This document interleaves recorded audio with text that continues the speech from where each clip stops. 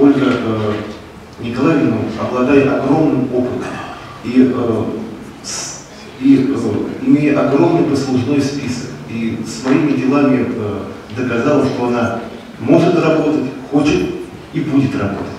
Вот. А какие-то вот личные и партийные амбиции, ну, естественно, надо отодвигать там на задний план. Потому что я вот открою э, небольшой секрет, активы этой партии тоже э, накануне собирались, и было такое мнение, вот, Иван Павлович, вот мы баллотировались в губернаторы, может быть, и вам тоже выставить свою кандидатуру в Совет Федерации, да? Но амбиции – это глупость. Надо избирать того, кто будет лучше работать. И я уверен, что Ольга Николаевна будет поддерживать наши умные и здоровые инициативы. А они есть и будут. И мы будем поддерживать Ольгу Николаевну ее тяжелой и сложной работе.